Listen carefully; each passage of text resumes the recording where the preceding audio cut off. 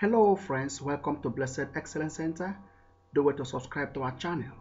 In our last class, we looked at the reaction of Grignard reagents with propanol. In today's class, we are looking to consider the reaction of Grignard reagent with esters.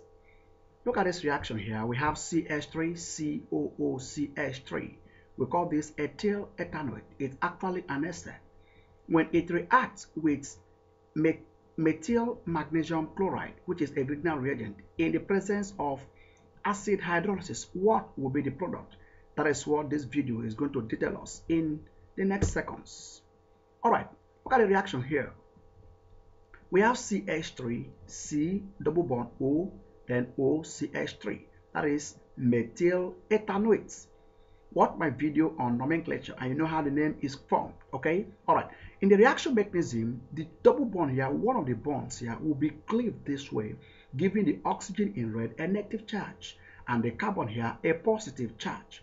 Coming to the Grignard reagent, we have methyl magnesium chloride. It's a Grignard reagent.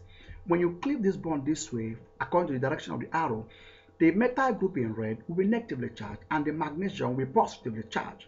The next thing will be the exchange of charges. So, according to this arrow here, showing you that the magnesium chloride that is positively charged will be attached to this oxygen that is negatively charged.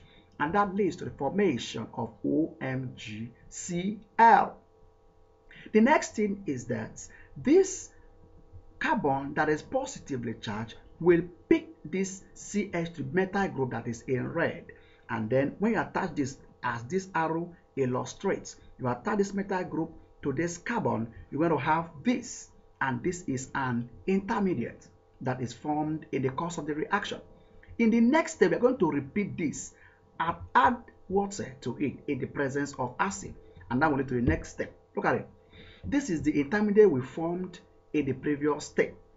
We repeated everything the way it, the way it was in that formula over there okay? Now in this compound when the bond between oxygen and magnesium is cleaved this way according to the direction of the arrow the oxygen in red will be negatively charged and magnesium will be positively charged.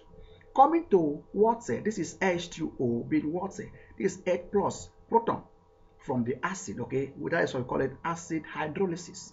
When you cleave this bond this way, the hydroxyl group will be negatively charged and hydrogen will be positively charged.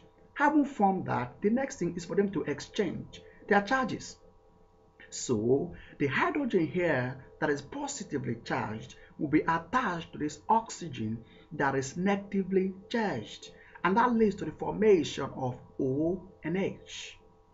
The next thing is this OH that is negatively charged will be attached to MgCl that is positively charged and that leads to the formation of HO MgCl which we call hydroxy magnesium chloride. And then every other component is repeated. The CH3 here is repeated here. The CH3 here is repeated here. The OCH3 here is repeated here. And we call this 2-methoxy 2-propanol.